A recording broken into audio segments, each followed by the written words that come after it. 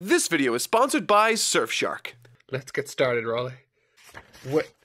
You can't leave it there! Oh my I am back from my short break away and I am ready to tackle the rest of this One Piece story. Fully energized to complete my quest to catch up with the rest of the world in this sprawling high seas adventure spanning almost 1,000 chapters as of writing this video. But as of my last video, part 12's completion, I have covered 597 chapters of this Japanese nautical epic as well as the first major section of this story. And with that now in the books, I thought this week, in addition to covering the reuniting of the Straw Hat crew during their return to Sabaody, I thought it would be fun to also reveal my top 5 favorite arcs of the story and my personal ranking of all the Straw Hat Pirates. I think I've got a decent enough grasp of this merry band of misfits in order to effectively rank them accordingly right now, and that's not even to mention my favorite arcs also. But before all that, let me say I am back. But please, for the love of God, like and share this video because the algorithm probably hates me right now. But all of that aside, I am ready to tackle the rest of this incredible story, beginning with my first impressions of, thoughts on, and review for the heartwarming, the tense, and the funny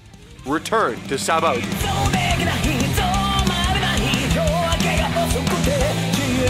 Oh, by the way, I see your comments. Oh, Mark cries at everything. He's overly emotional. He needs to man up. First off, rude. But moreover, I don't actually cry that much. I meant it when I said that before reading One Piece, I never cried while reading before. Now, do I cry while watching films and TV shows? Yes, like a fountain. But that's besides the point. And what's more is, I haven't just been resting during this vacation from the world of One Piece. I've been training. I've been watching The Notebook, Marley and Me, and Your Name on loop for the past two weeks straight. And I can now proudly declare that not only do I not not cry, but I am also an emotionless vacuum void of even the most fundamental basic level of humanity. So, with my newfound grit and determination, let's open the story and get back to work. Okay, I didn't actually cry here, but after taking my time away from this story after having sunk so much time into it beforehand, it was sort of nice seeing the story kick off again after what was in universe two years worth of training and time spent apart. Effectively, this very short arc explores the changes that crew have undergone, including emotional, intellectual, and in many cases physical changes, with everyone in varying degrees changing their appearances. They are after growing up considerably in the last two years, and that is very much made evident evident throughout this reintroduction of the Straw Hats as they rendezvous at the archipelago.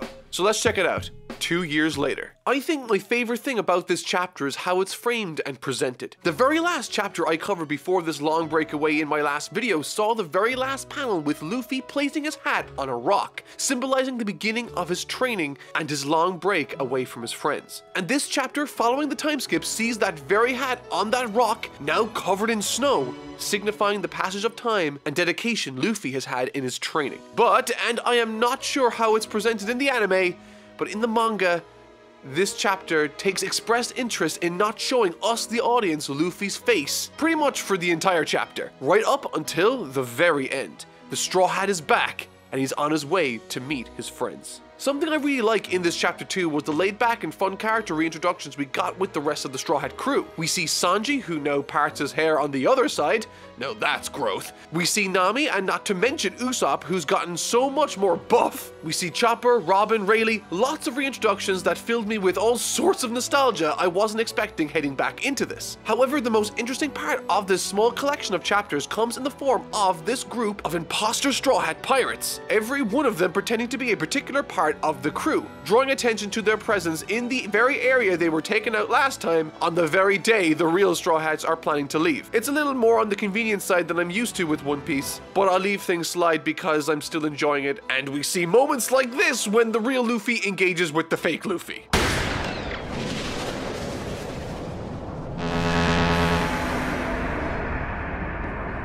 That is a baller move if ever I did see one. However, the real reason this crew is important is primarily down to them being the catalyst for the real conflict of the arc. You see, the reason I called this convenient earlier is largely down to the fact that had they not been at that archipelago that particular day, exactly two years from when Luffy sent that message, the real Straw Hats wouldn't have had any conflict really at all that day when they were leaving. But needless to say, they do.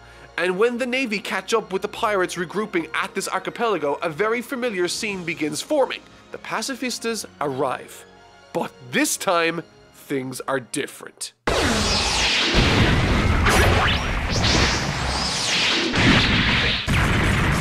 That's right, Zoro's got one eye now. Well, that sucks for him, but seriously, it's really cool to see the progression all of these guys have gone through, communicating to us visually the stark difference between them then and them now.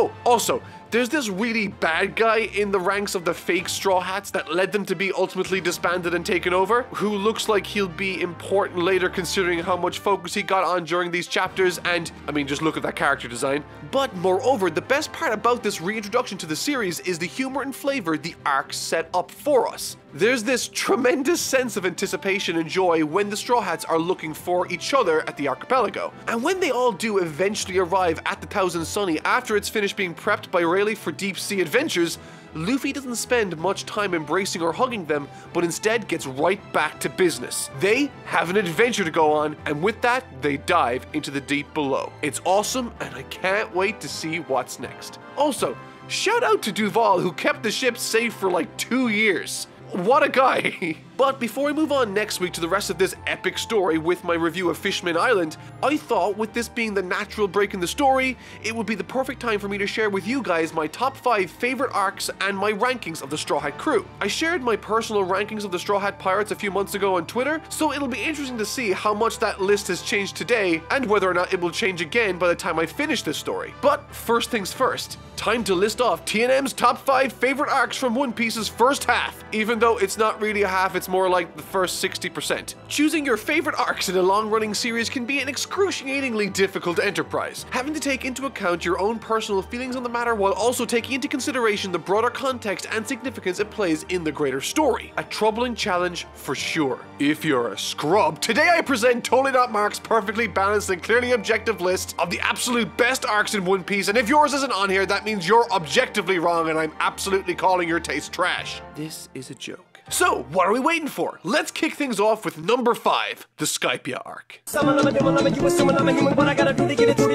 Funnily enough, while I write this, I get the distinct impression that there will be a large number of you that will take specific issue with Skypiea making my list of favorite arcs from this first section of the series. And while I can't speak to how the anime told the story specifically, I can only speak to my own experiences. And I found Skypiea to not only be incredibly fun, but even after all has been said and done, it might actually be the most ambitious standalone arc I've read of One Piece. While it does lean on material established in Jaya, the Skypiea arc, even discounting the aspects from Jaya, establishes so much and pays off everything in a single story arc. An entirely new aesthetic for the world's environments, new technology, many new cultures with their own visible social structures, as well as hints to powers that become incredibly important the longer the story pushes forward. And perhaps the most impressive aspect is that these superlative world building attributes inform the story being told and its conclusion. I described Skypiea as a combination of Dances with Wolves, Indiana Jones, and Jack and the Beanstalk, and to be honest, I stand by that. It's got the magic of a fairy tale, the adventure to rival any of Indiana Jones's best, and it has a sense of foreboding that distinctly reminds me of the frontier in North America. Juggling literal magic, incredible fight scenes, and complex social dynamics that create such a specific flavor that it's unmistakably, specifically Skypiea. This arc I and it has an identity more distinct than any other on this list. Number 4. Arlong Park. If you can't pay the cash, then you're out with the trash. If not for Arlong Park, this entire One Piece series I've created might not have existed. Something a lot of you might not be aware of is that when I decided to tackle this One Piece story, I did so with only two videos planned concretely. The first covering Romance Dawn to Baratie and the second covering the events of Arlong Park. I had said to myself and my friends at the time that if the story had not captured my own interest or my audience's at that point, I would have stopped there and then, not having continued the story at all. But this arc Arlong Park changed my perspective on One Piece entirely, transforming from a sort of ordinary shonen adventure story to an emotionally mature action drama dealing with themes and personal dilemmas that not only served to hold my interest, but as many of you became aware of during this video series, acted as the impetus for me to become incredibly attached to these characters in a way that I had not experienced with stories I had grown up with. Taking the primary point of view character to be Nami, we get tons of backstory and real life struggle that not only build up an incredibly tragic picture of Nami's life up until that point, but also a powerfully emotional interaction between two spectacular characters, the likes of which I hadn't personally been exposed to before. Arlong Park hits emotional highs that rival any of the other arcs in my opinion. Number 3. Water 7.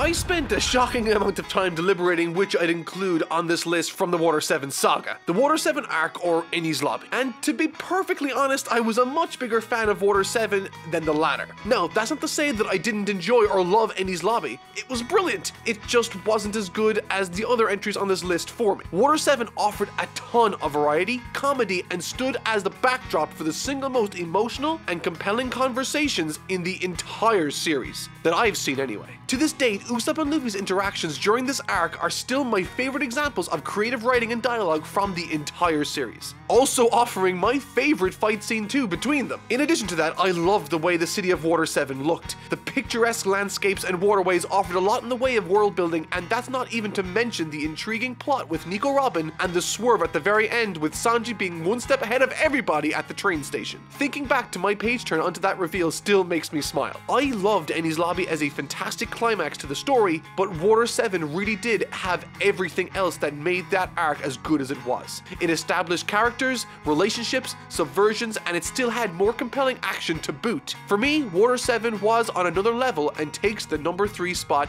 easily. Number 2, Alabasta. Oh,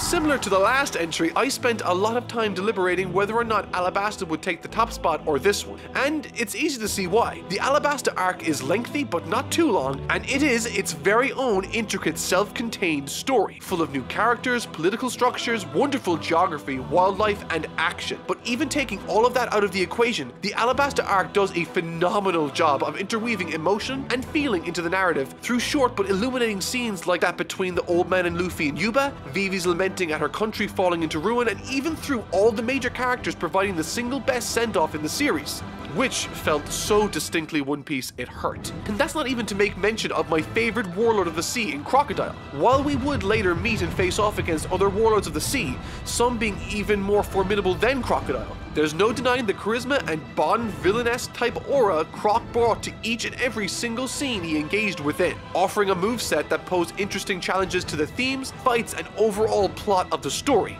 Croc was a near perfect inclusion for this arc and served it accordingly. But one more additional aspect that made Alabasta stand out amidst the rest was how it incorporated and made use of every single main character like no other, utilizing all the Straw Hats and Luffy in tandem, creating a sense that everyone was struggling to the very end. It's a spectacular, action-packed, rich, and emotional roller coaster that I literally could not recommend more. Number 1. Marineford. 30 chapters. In 30 chapters, Oda created a climax that befitted not just a four-part saga, but created, established, and delivered an incredible climax equally cathartic and tragic in measure for the entire series so far. To reiterate, this wasn't just a great climax for the saga, but a great climax for the series so far. That shouldn't be possible, let alone in 30 chapters. Recontextualizing relationships established in the first chapter, during Alabasta, and thereafter. This arc takes all the best elements from all the other arcs and smashes them together in a war effort the likes of which I've not seen yet committed to the page of a manga. The struggles are visceral, the tension is high, and the battles are nothing short of brutal, with violence the likes of which we've not seen in the series and consequences that will echo throughout the pages of every subsequent volume I'll read through into the future. Marineford is the endgame of One Piece, a story that shouldn't be possible to pull off, but somehow it was, and I was utterly floored by it. And while arcs like Enies Lobby also concern themselves with just a climax like Marineford, unlike Enies Lobby, Marineford introduces and is about Whitebeard and Ace, with the relationship taking center stage, acting as its very own standalone story in some measure, all the while introducing new characters, reintroducing old ones, establishing set pieces, and that's not even to mention the complicated action that literally everyone is taking part in. This was the arc that demonstrated so perfectly why Oda spending all that time world building and establishing characters over the course of the series worked so well in his favor. I have in the past seen shows or other pieces of media create a war setting, and while some are closer than others, none, in my opinion, even approach this level of satisfaction and urgency Marineford so effortlessly delivered.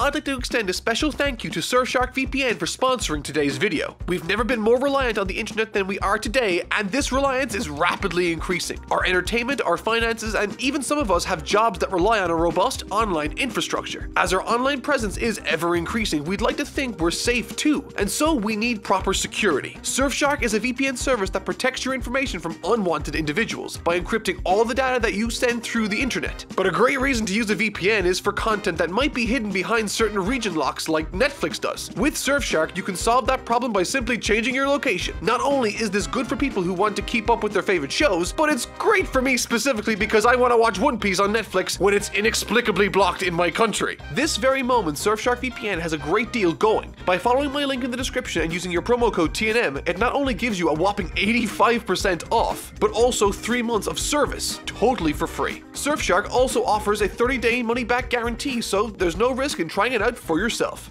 Now, back to the video. I figured out that when you get wet, your body hardens, so you can be clobbered when you're a big stiff. I'm angry and I'm wet.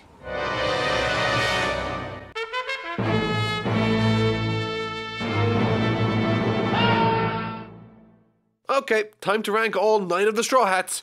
Don't hurt me. Ranking the Straw Hats was a much more difficult task than choosing my favorite arcs. I found myself flip-flopping between so many of them, but I had to make my decisions at the end of the day, so here they are.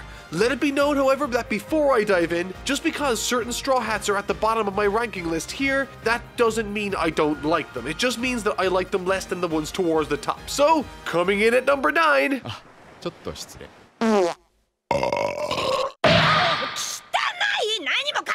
Brook. I like Brook. I think he can be funny, and his backstory is one of the most tragic, if not the most tragic, out of all of the Straw Hats. And while this might be my lack of time spent with the character talking, I found personally that if I removed all of his crass gags about women's underwear and removed his skeleton puns, while there is definitely a character beneath, I didn't see as much of that as I would have liked to outside of Thriller Bark. This could very easily change in the future, and I hope it does. From the little amount his character has gotten to shine in the series so far, what I have seen I very much so hopefully the future offers much more in the way of characterization for Brook. Time to jump to number 8.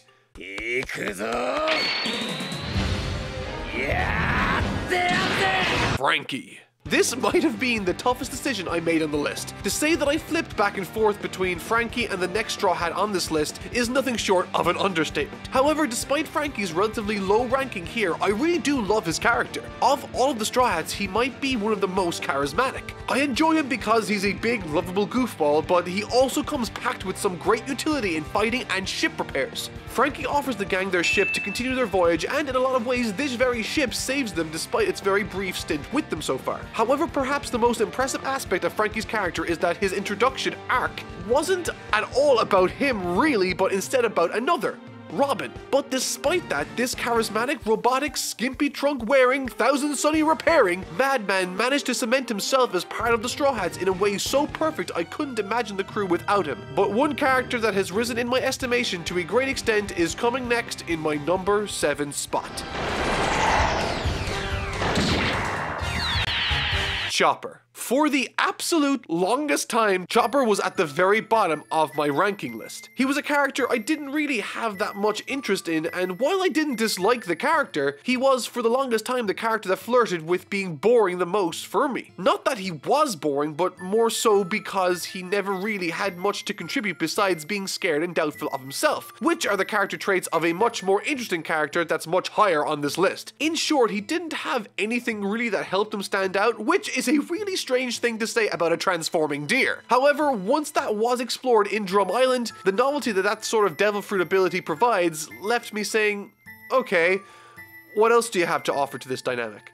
And really, he sort of fell into the background with characters like Nami, Usopp, and Luffy taking center stage thereafter. That is, until this happened.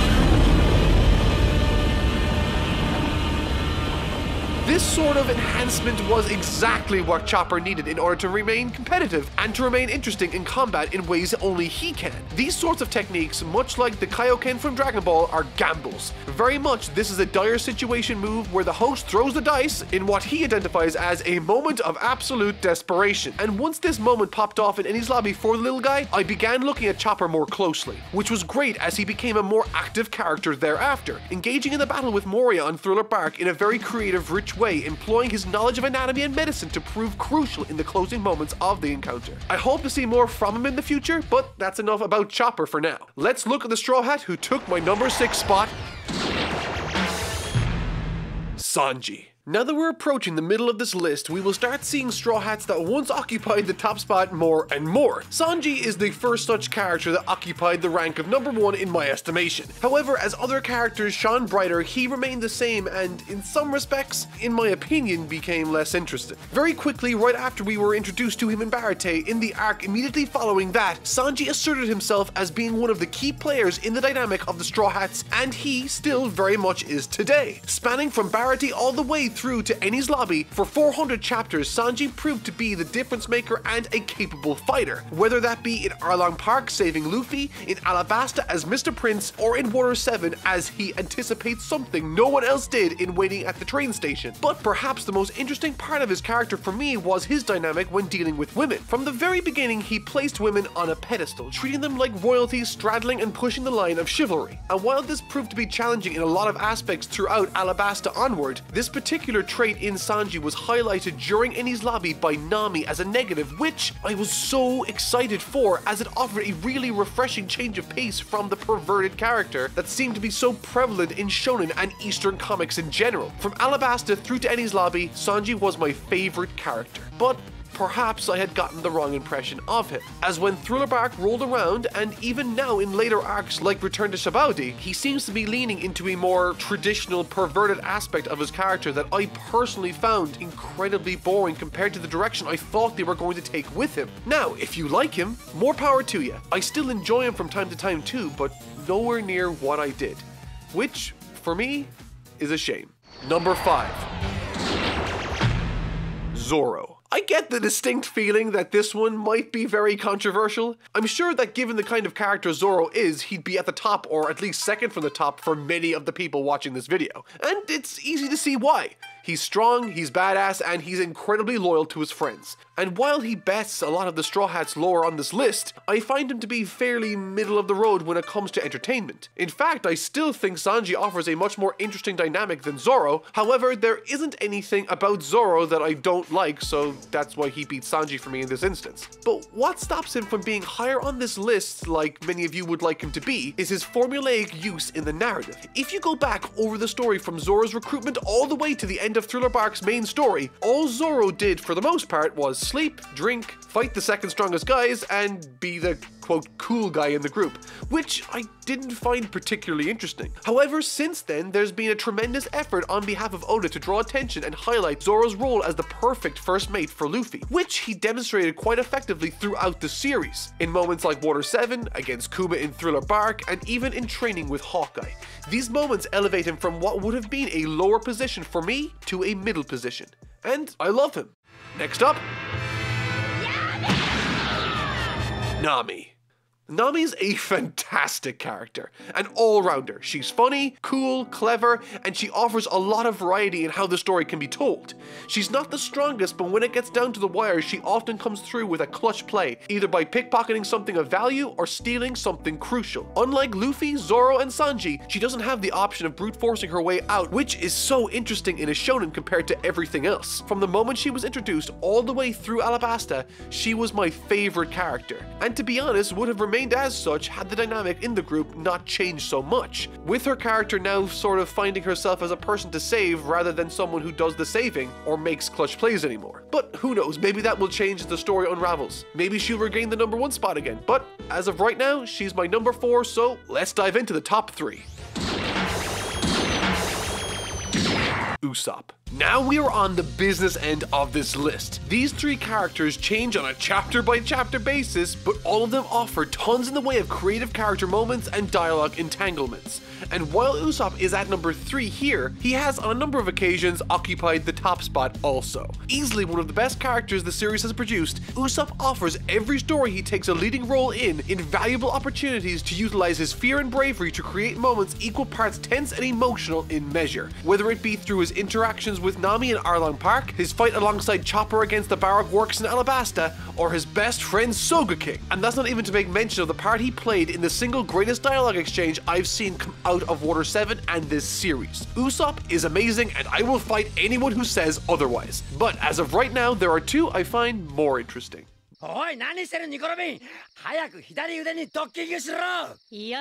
人として恥ずかしいわ Robin. While characters like Chopper and Usopp or Sanji and Zoro share a lot in common with each other, I was beginning to get scared that no Straw Hat that will be introduced in the future would be able to feel like they had their own identity.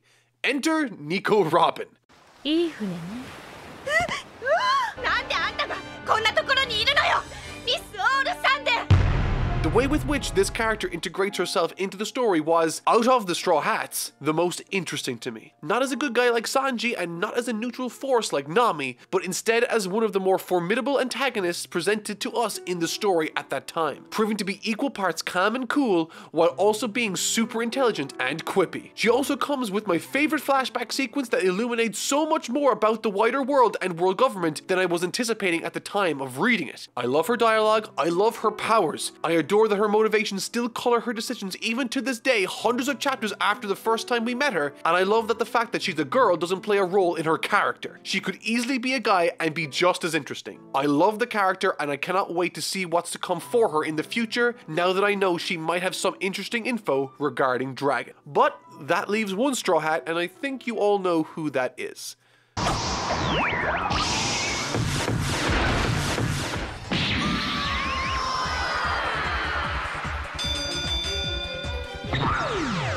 Luffy. I didn't think I was going to like Luffy as much as I did throughout this series. With him being the character we spend the most time with by far in the entire story, and with him being introduced to us in the very first chapter, there's been only one single moment in the entire story where I thought his character didn't make sense. That being on Whisky Peak when he tried to kill Zoro, but aside from that, Luffy has literally only gotten more interesting to me over time. Chapter by chapter in the different things he does, sometimes big, sometimes small, but always informed by his character as it paints and colors every piece of dialogue he spouts. Luffy is a perfect protagonist for this story. Obviously, he's exciting and endearing, which are fantastic traits to have for a protagonist, but what I think makes him a terrific one is how active he is as a character within the story. Unlike a lot of other characters, he doesn't sit back and let the plot just happen to him. Luffy happens to the plot. He's a go-getter and for better or worse, goes out into the world and causes great things to happen and sometimes terrible things to happen, but always entertaining. With a backstory that gets drip-fed to us throughout the course of the entire series, Luffy isn't only interesting but comes with far more depth that a character like him might look to have on first viewing, with Oda taking specific care in establishing every aspect of him,